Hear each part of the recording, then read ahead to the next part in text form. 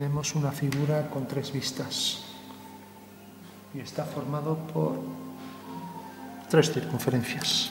Entonces dibujamos la planta con sus divisiones en los cuatro cuadrantes.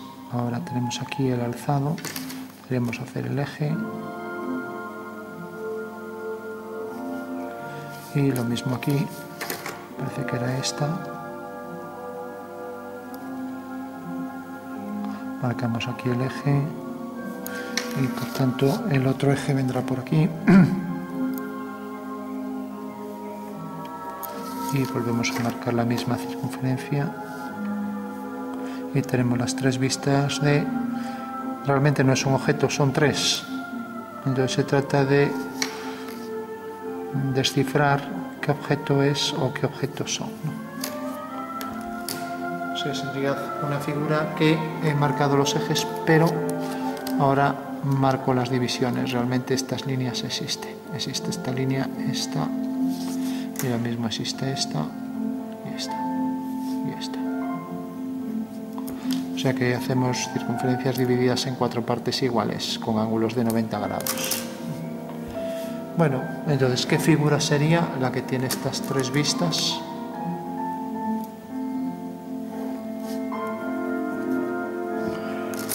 Bueno, nos dicen que realmente son tres piezas, con lo cual nos facilitan las cosas. Entonces, como siempre, dibujamos en el espacio.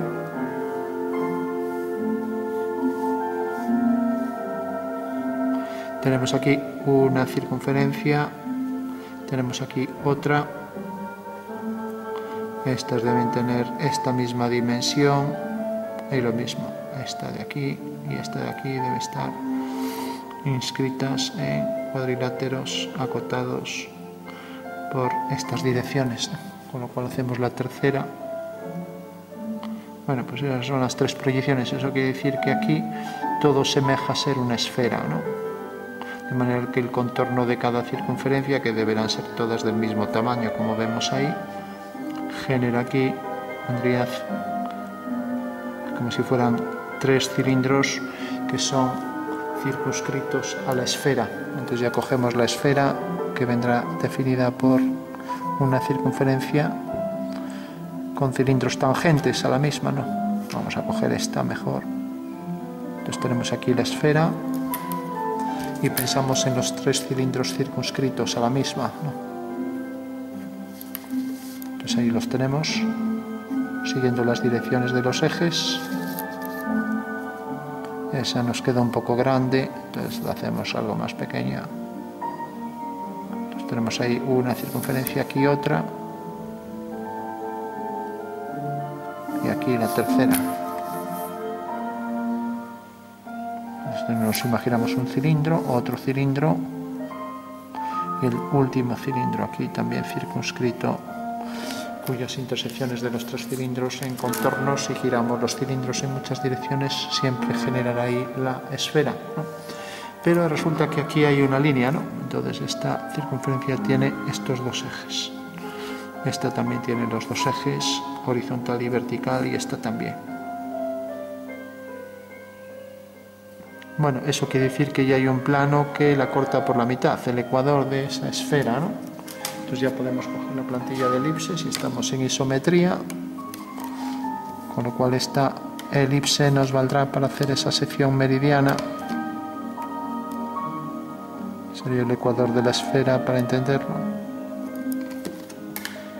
Corresponde a esta línea y ahora tenemos esta, que se corresponde con esta, con lo cual esa misma elipse, esta nos queda un poco grande, cogimos esta bueno, pues servirá también para esto, Entonces ya podemos coger aquí. Esa elipse será paralela a esta.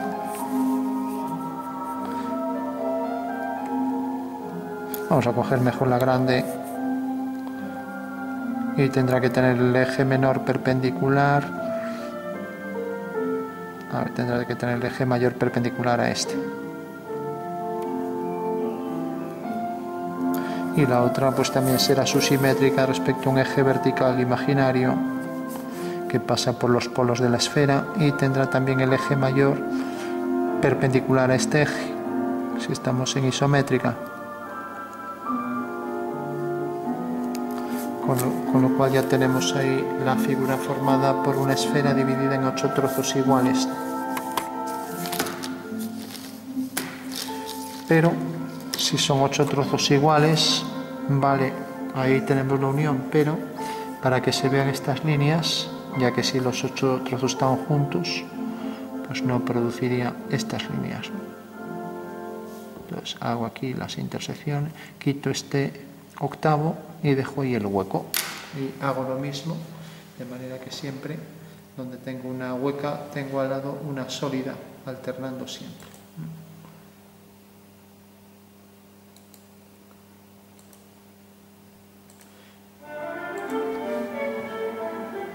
Bueno, completamos, entonces, entonces tendremos esto sólido, hueco, sólido, hueco ahí detrás. Y aquí abajo al contrario. O sea que esta nos va a quedar aquí sólida, sólida, hueca. Con lo cual le podemos dar un tono. Entonces tenemos aquí, por ejemplo, este trozo que proyecta aquí su sombra. Y aquí tenemos el trozo de sector esférico. Lo mismo aquí vamos a poner algo de sombra de este lado y este trozo aquí. De manera que siempre sólido, sólido, uno frente a otro y hueco frente a hueco y lo mismo aquí, hueco frente a hueco y sólido allí detrás frente a sólido, con lo cual efectivamente estas tres, estos, tres, estos dos aquí, estos dos debajo, provocan estas tres vistas. Tenemos ahí ya la sombra que provoca y aquí el fundido del contorno de la esfera y lo mismo aquí. Ponemos aquí la sombra y el fundido lo mismo aquí fundido. Bueno, con lo cual ya la tendríamos completa bueno pues realmente estos dos trozos esféricos, estos sectores serían A y B, lo demás hueco, o sea que este y este no existiría.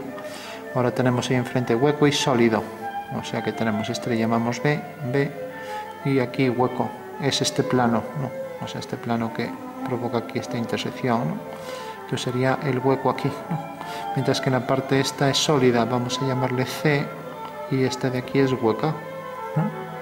Y ahí enfrente tenemos esto, que es sólido, como vemos ahí es el A, esto es hueco, por debajo esto le llamamos el C y aquí enfrente será hueco, con lo cual queda ya todo perfectamente definido y efectivamente esa es una solución válida a esto.